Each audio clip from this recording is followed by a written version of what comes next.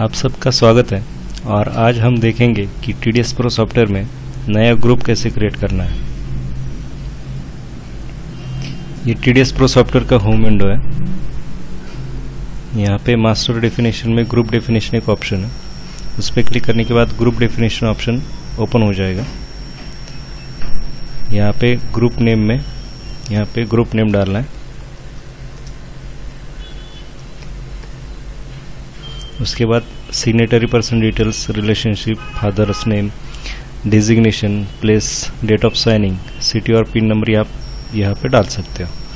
आगे एक पासवर्ड का ऑप्शन दिया है। अगर आपको जो ग्रुप है, अगर पासवर्ड प्रोटेक्ट करना है तो यहाँ पे आप वो पासवर्ड डाल सकते हो।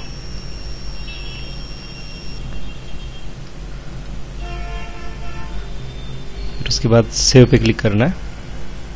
और से सक्सेसफुली का मैसेज आ जाएगा. ओके पे क्लिक कीजिए. उसके बाद हाइड कर दीजिए.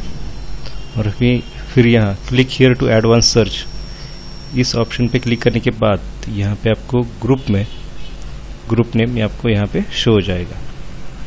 Thank you